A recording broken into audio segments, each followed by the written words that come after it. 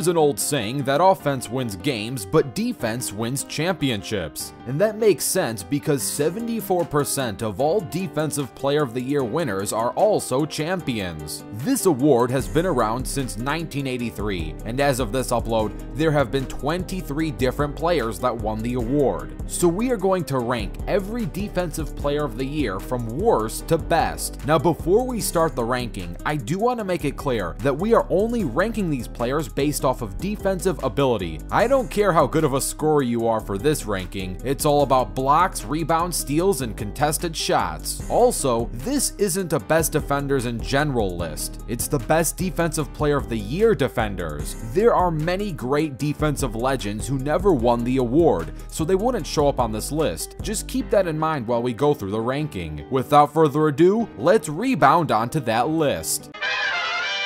In 23rd place, we have Tyson Chandler. Tyson won the award in 2012 while playing for the New York Knicks. The reason why Tyson ranks so low is not because he's a bad defender, but because there's just so much competition going forward. Also, it is worth noting that he is one of the only designated 7 foot centers on this list that never averaged over 2 blocks per game. And when he won the award in 2012, he couldn't crack double digit rebounds or single digit steals. In 22nd place is Marcus Gasol. Mark is a great defender. He won the award in 2013 while playing on the Grizzlies. Mark is in a similar boat as Tyson Chandler. He's a 6'11 designated center who never averaged over 2 blocks per game or double digit rebounds. He also averaged quite a bit of fouls, about 3 per game. I have him slightly ahead of Tyson because Mark averaged twice as many steals per game, which for a center is pretty impressive. At 21st place ranks Draymond Green. Like Tyson and Mark, Draymond is an elite defender, but there's just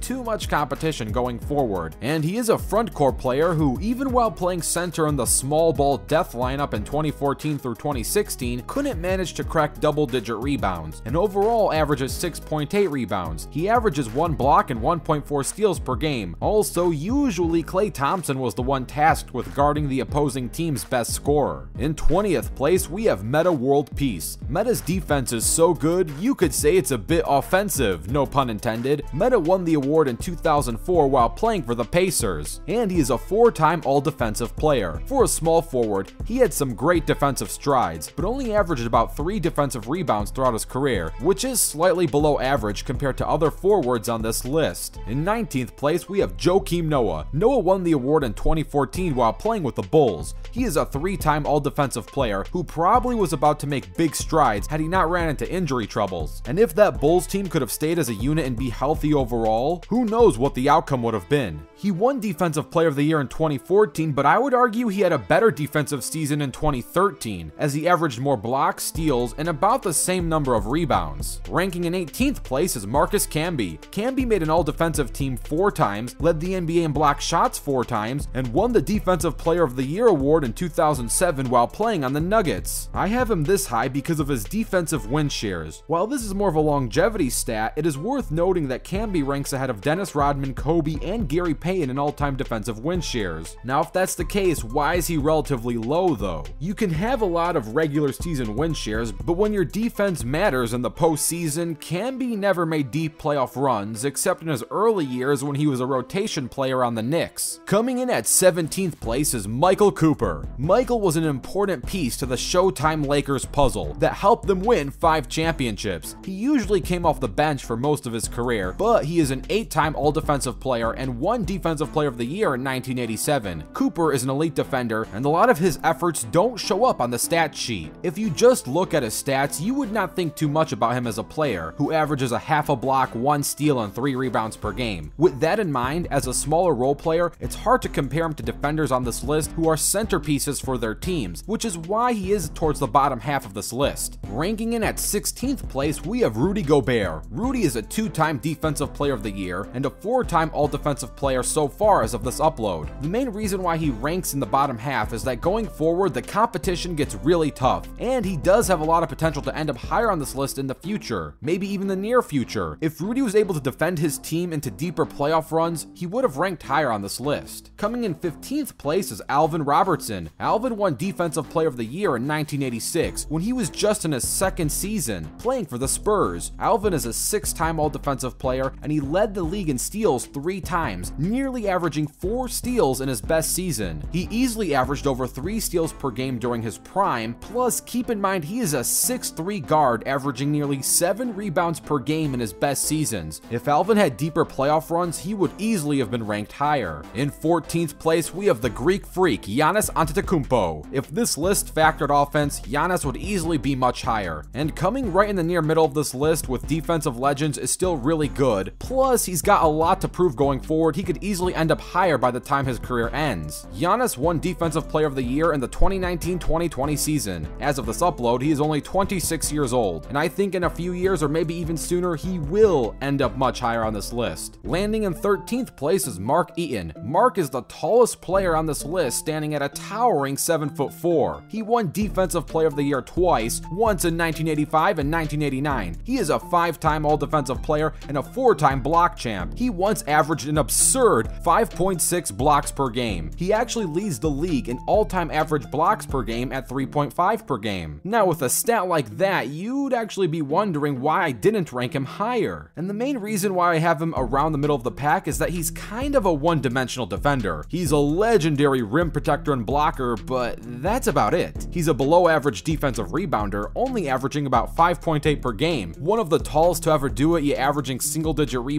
I think you understand why he ranks where he ranks. In 12th place, we have Sidney Moncrief. Sidney won back-to-back Defensive Player of the Year awards in 1983 and 1984. This five-time All-Star is also a five-time All-Defensive Player who was an elite perimeter defender and on-ball defender. Even though he was 6'3", he can easily guard forwards and backcourt players. Sidney's defense doesn't really show up on the stat sheet. He only averages about a steal per game and three defensive rebounds. But to quote the GOAT MJ, Jordan himself stated, when you play against Moncrief, you're in for a night of all-around basketball. He'll hound you everywhere you go, both ends of the court. You just expect it. Coming in 11th place is Alonzo Mourning. Zo is a two-time Defensive Player of the Year, two-time All-Defensive Player, and two-time block champ. He won Defensive Player of the Year both in 1999 and 2000. In his best blocking season, he averaged nearly four blocks per game. He was the best defender on a Heat team that went all the way to the Eastern Conference Finals, losing only to MJ. He ended up winning a ring later in his career as a rotation player with Wade and Shaq. Not only is he 11th on my list, he also ranks 11th all time in total blocks, with 2,356 blocks. And now for the top 10. In 10th place, we have the Claw, Kawhi Leonard. So far, Kawhi has two Defensive Player of the Year awards. He has won them in 2015 and 2016. Leonard is a six-time All-Defensive Player and a steals champion, leading the league in steals in 2015 with 2.3 per game. Kawhi is usually tasked with guarding the opposing team's best scorer. He can easily guard positions 1 through 4. He's had success limiting elite scores in the finals like LeBron James and Kevin Durant, earning rings and finals MVPs against both of them thanks to his elite defense. In ninth place ranks one of the best defensive guards of all time, Gary Payton. Gary won Defensive Player of the Year in 1996. He is a nine-time All-Defensive Player and led the league in steals in 96, averaging nearly three steals per game. He is in the top five all-time steals leader at fourth with 2,445 total steals. He can easily guard positions 1 through 3 and was a true defensive force. He is the highest ranked point guard on this list, and he got his nickname the Glove due to his elite defense. The competition going forward is insane. I would have ranked Gary higher had his defense helped him win it all during his prime. He did win a ring playing a veteran role with the Heat late in his career with Dwyane Wade. Coming in 8th place, we have prime Dwight Howard. Howard won three Defensive Player of the Year awards in 2009, 2010, and 2011 while playing with the Magic. Howard's overall career is rocky due to injuries, but during his prime before his major back injury, he was a defensive nightmare in Orlando. He is a five-time All-Defensive Player, two-time block champ, averaging nearly three blocks per game in his best blocking seasons, and a five-time total rebounding champ, averaging an absurd 14.5 rebounds per game in his best rebounding season.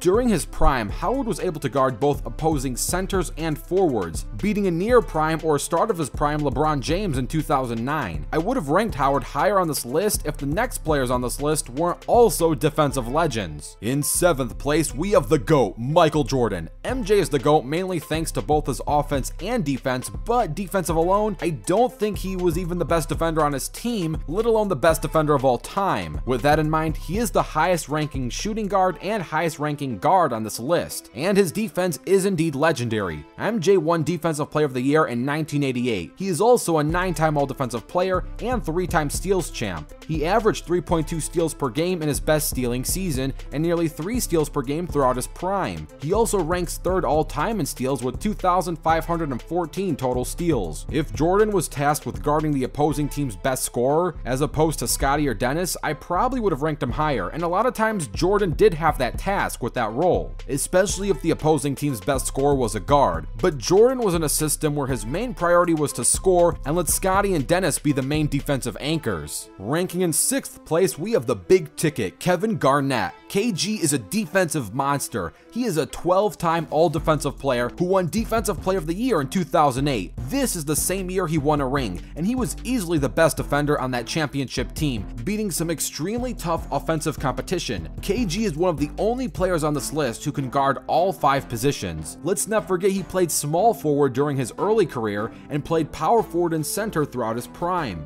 One of the most impressive defensive feats KG has accomplished was winning four total rebounding champs four years in a row from 2004 through 2007, averaging nearly an insane 14 rebounds per game in his best rebounding season. Garnett was tasked with guarding the opposing team's best scorer many times, and he's had great success doing so. In fifth place, we have Big Ben, Ben Wallace. Ben is tied with the most Defensive Player of the Year awards of all time. He has four of them, winning them in 2002, 2003, 2005, and 2006. Ben is a six-time All-Defensive Player, two-time Total Rebounding Champ, and a block champion. In his best rebounding season, he averaged 15.4 rebounds per game and over 3.5 blocks per game in his best blocking season. Keep in mind he is an undersized center blocking shots from the league's best scoring centers, forwards, and guards. In fourth place, we have yet another player who is tied with the most all-time awards, at four of them, and that is Dikembe Mutombo. Dikembe Mutombo won the Defensive Player of the Year award in 1995, 1997, 1998, and 2001. Mutombo is a six-time All-Defensive Player, two-time rebounding champ, and three-time block champ. He ranks second all-time in block shots with a total of 3,289 blocks. He averaged an insane 4.5 blocks per game in his best blocking season and over 14 rebounds per game in his best rebounding season. Ranking in third place, we have the Admiral, David Robinson. Robinson won Defensive Player of the Year in 1992. He's an eight-time All-Defensive Player, a total rebounding champ, and a block champion. He averaged 4.5 blocks per game in his best blocking season and 13 rebounds per game in his best rebounding season. Robinson is one of the fastest and strongest centers of his era. His sheer speed and agility were unmatched for most of his career. His defense was able to help the Spurs win two rings, and he ranks 6th all-time in blocks with 2,954 total blocks. Only two other players on this list have more defensive win shares than David Robinson. Robinson has over 80 defensive win shares and ranks in the top 10 all time. In second place, we have the Worm, Dennis Rodman. Rodman won Defensive Player of the Year twice,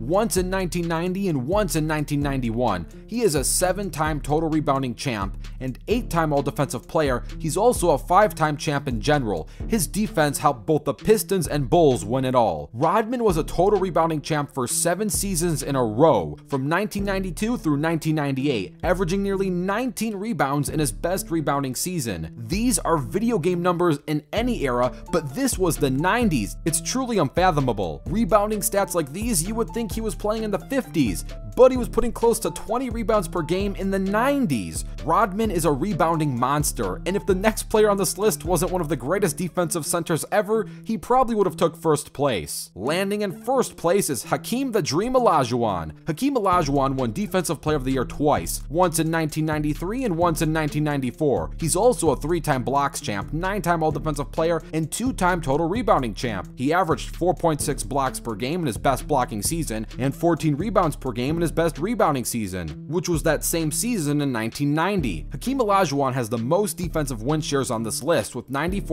94.47 win shares. He also leads the league in total block shots at 3,830. In second place on that total list is Dikembe Mutombo who is about 600 blocks behind, which is light years in terms of blocks. These are blocks, not points. That gap is crazy. Thanks to his defense, Hakeem is a two-time back-to-back champ, beating elite centers like Shaq and Patrick Ewing in the finals. The Dream had the best defensive rating in the NBA for five consecutive years. So these are every Defensive Player of the Year winner ranked from worst to best, or least best to best, since these are all legendary defenders. Let me know what you think of this list. Also, let me know if you want me to rank the top 25 defenders in general, since there are some great defenders like Scottie Pippen and Tim Duncan who never won the award but are great defenders nonetheless. Don't forget to dunk on that like button and subscribe with notifications turned on. I'm Rebound Rewind, and I'll fast forward to you later.